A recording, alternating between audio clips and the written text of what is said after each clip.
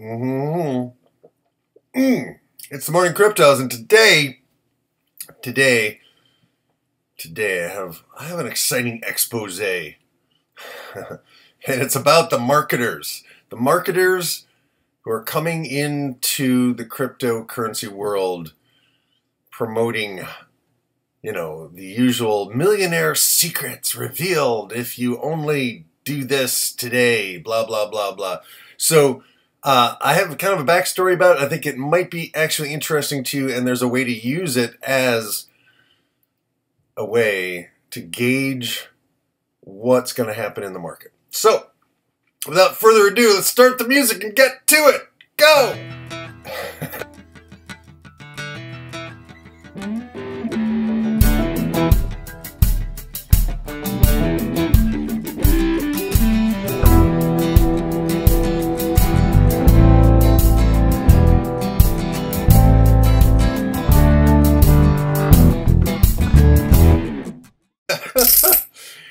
so, oh my God.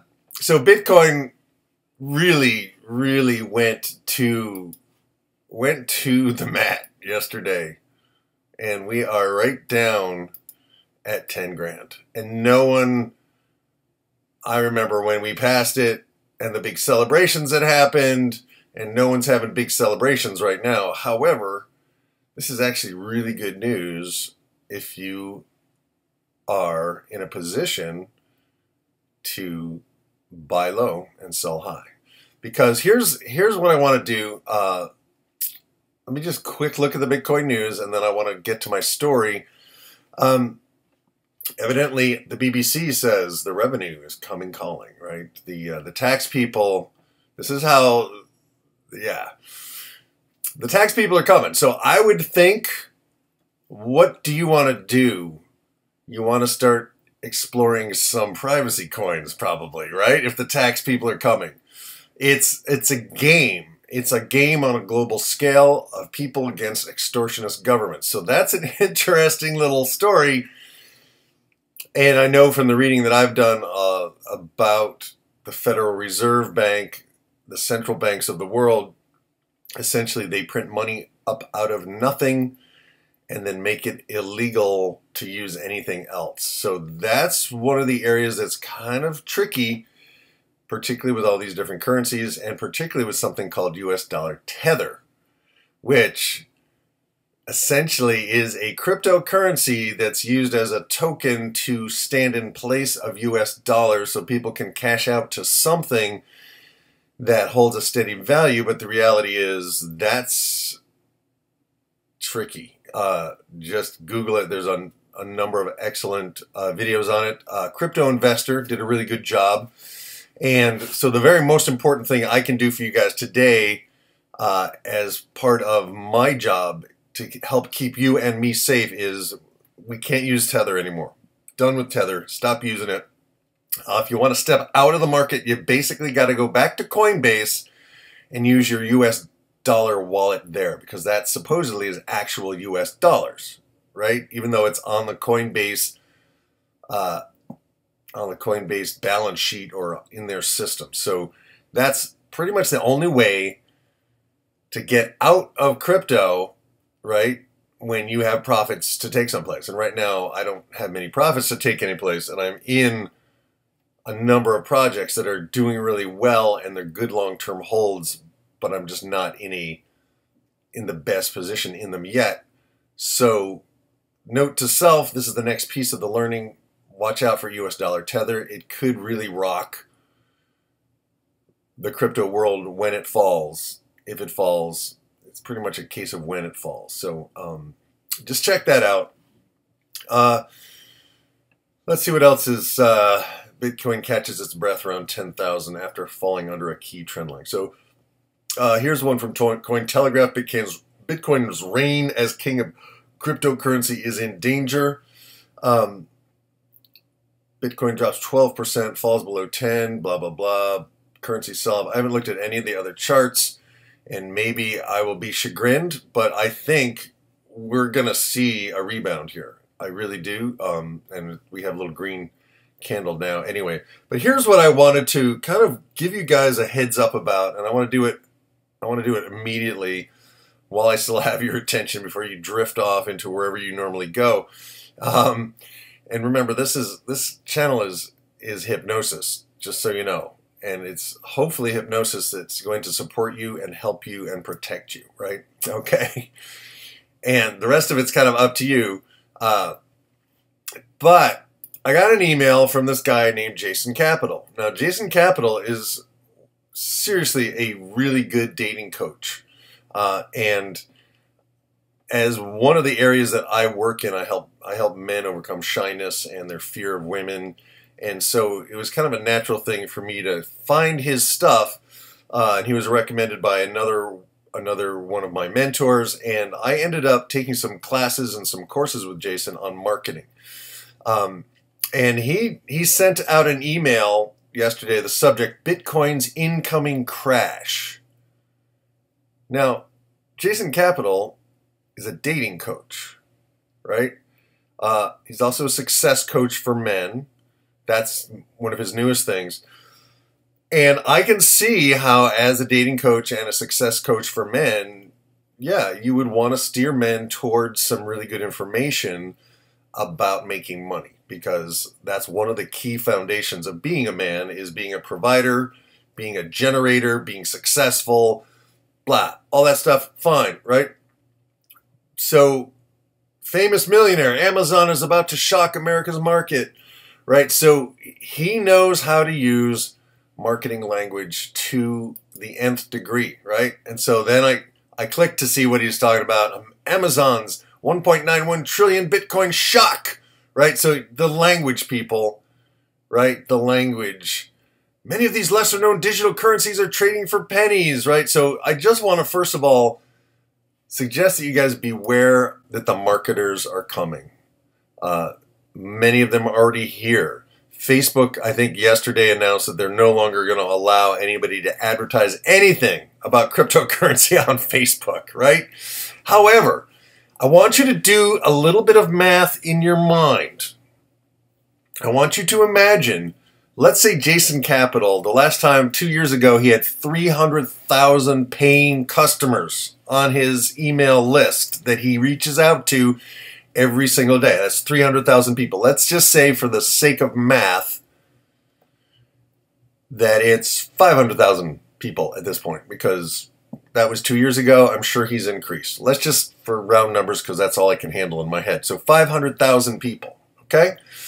Let's say just 1% of those guys, or 50,000 of them, right? Yeah, that's 1%. I can do that in my head. Let's say 50,000 of them go today to Coinbase and sign up.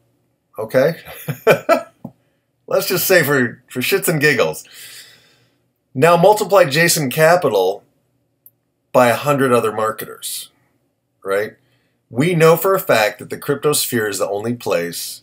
Like I took courses with Jason on how to do email marketing and and I have to say one of his suggestions was to do a YouTube video every single day and so that's one of the things I'm doing. So but not because I'm trying to get money out of you people because ultimately I started with $20 a day investing in Bitcoin, Litecoin, and Ethereum at Coinbase and by July, I had a full Bitcoin of $2,500.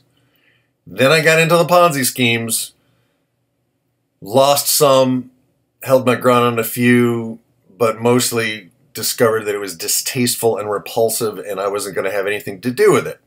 And that's also the, the decision I made about becoming a marketer like these guys. I would rather just make my money trading crypto rather than making my money telling other people to trade crypto. Do you know what I mean? And I'm not saying that Jason's doing that. And the guy who he is referring to is obviously a guy who knows what he's talking about. But I just want you guys to beware of the marketing hype and to know that even though things are quiet here today, the marketing machinery is moving. And people all over the world are beginning to hear that, oh, you can make a lot of money. At one point, I think I've invested, I don't know, maybe five or ten thousand dollars at the most, and at one point I was up above forty thousand uh, dollars. I'm way down below that at this point, uh, but just because we've had such a significant pullback. However, the pullback is not permanent. That's what I'm trying to say. What I'm trying to say is there's good money to be made here, and you can make it. However, you don't have to spend money on a course, right? First of all, you're here learning with me every day, and I'm doing my best to teach you as I do it, right? I'm not a multimillionaire. I'm a person like you. I have real challenges just like you. I'm going to make mistakes just like you. And here's the deal I'm not charging you a cent, and I'm not gonna. I'm here to raise money for my music. If you want to pay me, check out my music. You could download my CD for seven bucks, right? It's not about getting rich quick. It's about learning a skill that you can use for the foreseeable future to provide for yourself and your family. Now, next thing, check out Crypto Grinders. The link is below this video. He is one of the best teachers about crypto. He knows what he's talking about. He is a multimillionaire and he gives his information away for free. If you want to go really deep, he charges a modest fee for his group. Way better, way better than anybody else you're going to find out there. Data Dash, really good information. He is, his heart's in the right place. He's a human being. He's made mistakes. He's young. He's learned faster than the rest of us. However, he doesn't charge you. He doesn't charge you. Okay? Next guy, crypto investor. Sometimes he comes off a little like Eeyore. But if you want someone who's willing to take a cold hard stare at the bullshit in the crypto space and call a spade a spade, crypto investor, man, excellent teacher. Check down below.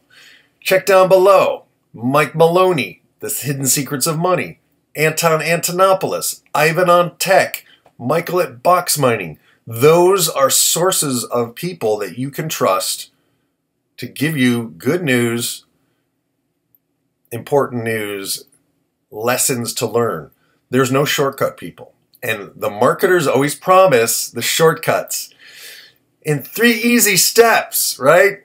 The seven secrets that you need to know. And and we can play with that language and sometimes i play with it kind of tongue-in-cheek as to you know, clickbait to get somebody to watch my damn videos. However, this for me is an ethical thing, and uh, and I just find I find the hype and the marketers a little bit repulsive. However, as traders, we might we might appreciate the fact that they're bringing people in.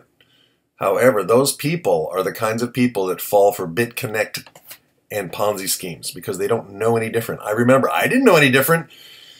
BitConnect said they had a, uh, you know, trading robot, um, and that they were mining, and that you know this was a loan platform, and I didn't know, so I put a hundred bucks into BitConnect, right, and then I got hooked into a bunch of Ponzi's, uh, and and just sucked down into the vortex. I managed to get out of it, right?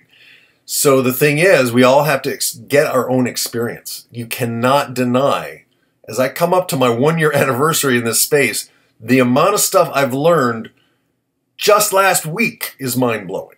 And this space changes so fast. So please, people, be careful of the marketers and check out some of the free sources that I talk about every day and watch them, right? I just watched a great interview yesterday with Ivan on Tech and uh, the founder of IOTA, right? And now I know more than 90% of the people in the crypto space about IOTA and why IOTA is the future of the crypto space, right?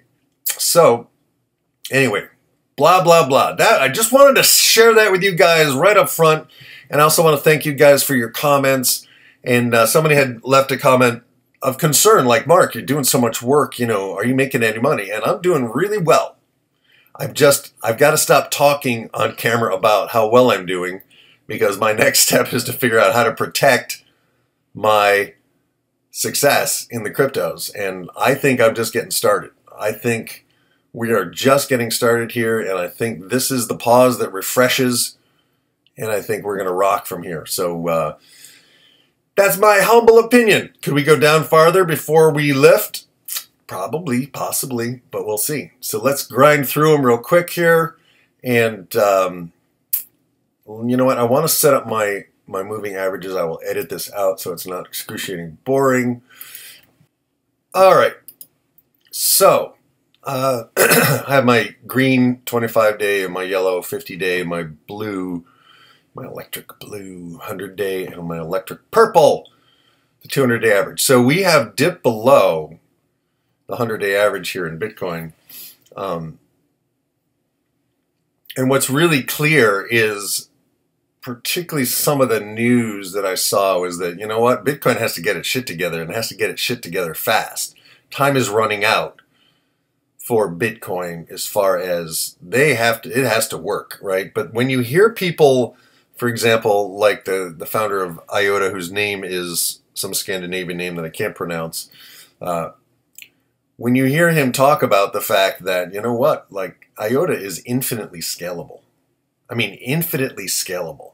Bitcoin is not. Blockchain is not. The blocks fill the fuck up. right? There's no getting around it. It's a it's a great idea, but it doesn't work for millions upon millions of transactions a second. It just doesn't. And that's what we're used to, and that's what the public wants, and that's what's got to happen before it can happen. And uh, he addressed some of the ideas. Let's go to IOTA, by the way because uh, maybe I'll just kind of focus a little bit on this. Uh, so I yesterday I had a chance to really listen to this extensive interview. Um, let me just let me just get it up here on YouTube because I think it's worth watching. Uh, let's go to Ivan on Tech. Enter. Okay, here it is.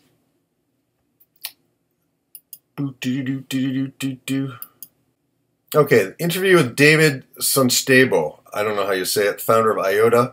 Um, okay, so uh, check this out. Uh, I will try to leave the link. I'll copy the link onto my clipboard, see if I can remember to paste it. Uh, where am I? Okay, so one of the things he said that just really drove home is that you know, they saw like in 2015 that this block thing was going to be a problem, that it was going to be a roadblock, right? And they began to come up with different a different approach. And IOTA uses the tangle. And for those of you who haven't heard the analogy, it's like the blockchain is like a math teacher collecting the tests, going home and grading them, right? the tangle of IOTA is like the teacher saying, okay, Bob, you give your paper to Mary, Mary give your paper to Sarah, Sarah give your paper to Billy, Billy give your paper to Henry, Henry give your paper to Bob. And you guys correct each other's paper, right? It's elegant, it's simple, and it works, right? Now, the project isn't done, it's a long term project, right? If you want to make money in this space for $2.30, you can buy yourself some IOTA, right? Now, it's also been said by its detractors that IOTA is, oh, it's just for machines. Well, your phone is a machine, right? And it would be really nice if you could take your phone, that machine, and connect it with another machine anywhere in the world and buy whatever you want whenever you want. Right? So I think IOTA has been something that's been growing on me, and I've been kind of dabbling in in learning more and more about it. And it was really good to see an interview with a real person who's running the real project because that's true marketing. He wasn't hyping it, he was just sharing the facts and the story, the authentic story behind it of a team that is from all over the world and they are doing their due diligence, they're doing their work, and they're doing great work that could benefit you and I in the future. So that's my story today. So IOTA is one of my long-term holds, and uh, beware of the marketing hype out there, people. I think we're getting ready for a pop. Now, to go back to the sales letter, what this guy is saying is that February 2nd, 2018 at 4 p.m., something's gonna happen, right? And what this does is it gets you fear of missing out, plugs right into the human bias machine, hypnosis. Somehow, February 2nd, something's going to happen. And this guy is saying that, you know, essentially Jeff Bezos of Amazon is going to say, we now take crypto. That's what he's saying. You see people, again, that's like that's like uh, before Christmas when they're like, oh yeah, Bitcoin's going to be traded on the futures, right? We don't know what's happened yet, but the market responds to something that hasn't happened yet as if it has happened. But that's what the masses do. I want you guys to start looking at these charts and see, oh, you know what? Look at this pattern this thing has energy and it boosts, and right now it's really quiet. Might be a good time to get some for $158 in Bitcoin Gold. Not a lot. Don't put your whole portfolio in it. Get a little. Get a hundred bucks of it. Get one of them. Get $157 of it. And then, when it pops, sell it. That's your that's your lesson. That's your class. That's your assignment, class. Just do it, right? not because it's financial advice, but because you're curious and willing to explore and experiment and willing to apply ideas that people are sharing with you for free, right? And what a lot of these marketers have said is that, you know, when you give stuff away for free, people don't value it. And I disagree. I am so grateful to Ryan Lye over at Crypto Grinders for he turned me on to Qtum. I made a lot of money in Qtum. His advice has been tremendous, and I've regretted it every time I didn't follow his suggestions, right? Not regretted it in a negative way, just regretted, ah, he was right. He said, like, chill out. Christmas is coming, guys. And lately he's been saying, hey, Chinese New Year's coming. Stuff's going to quiet down. He knows what he's talking about. Check him out. It's free, right? You're not going to be manipulated. That's what I just want to share with you guys from my heart.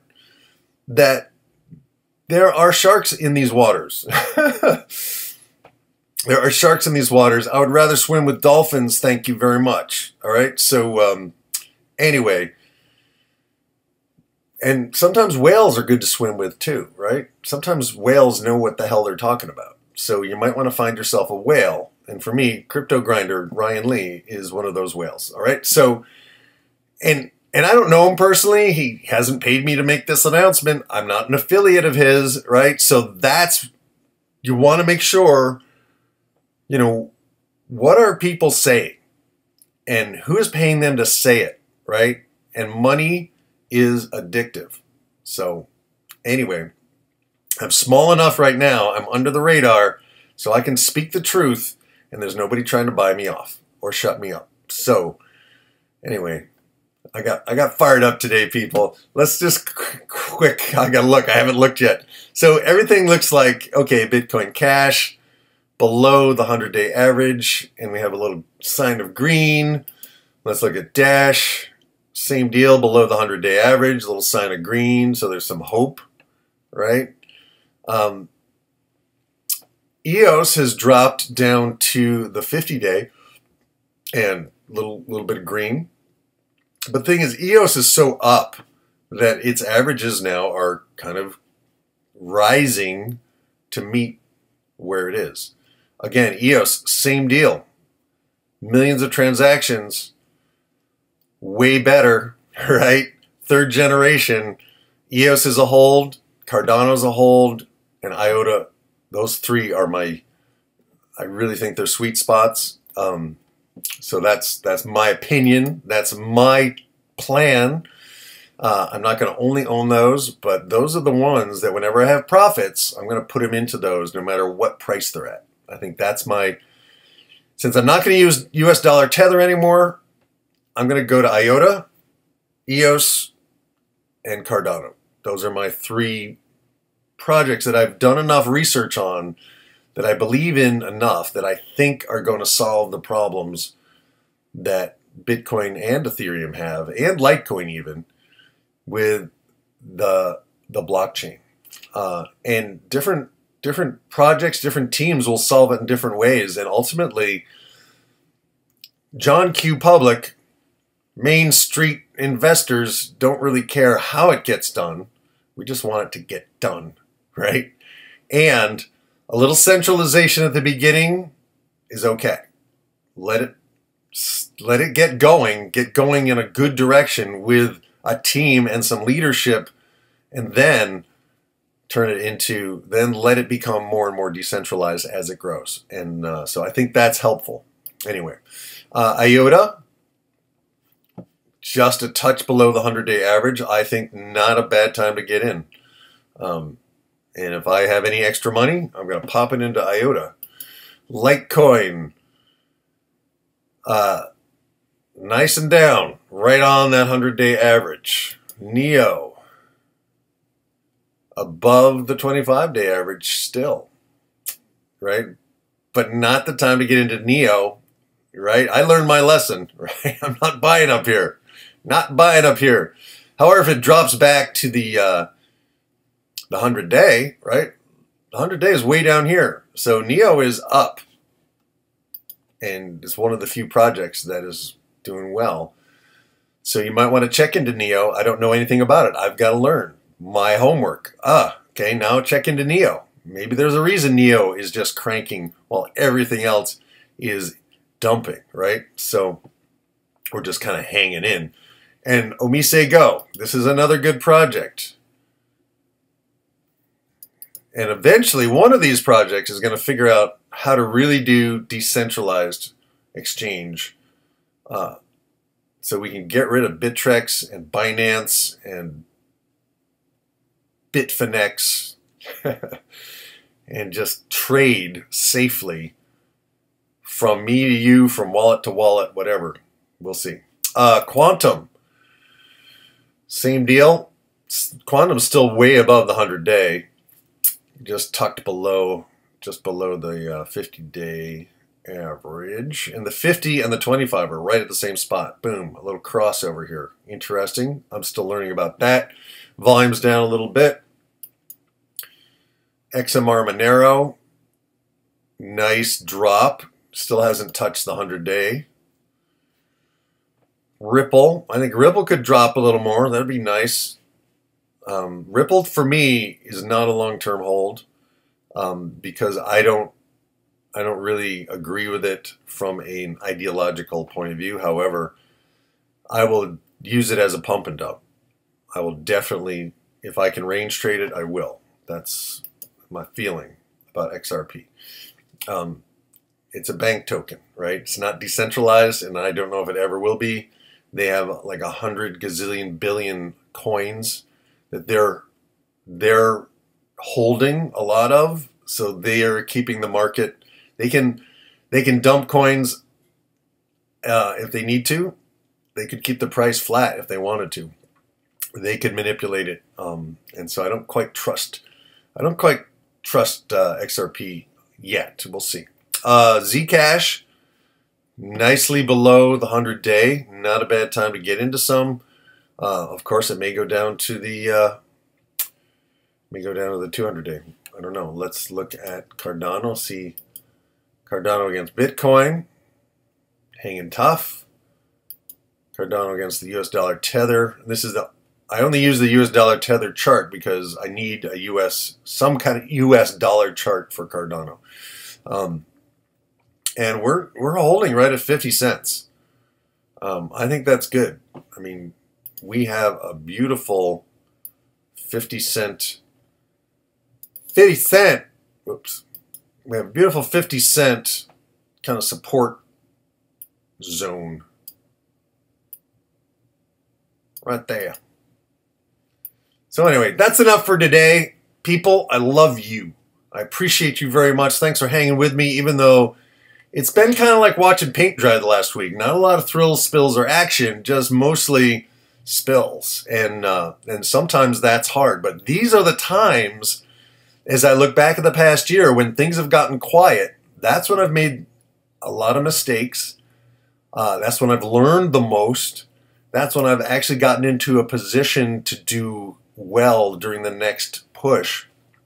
And this market does push and pull back. It pushes and it pulls back.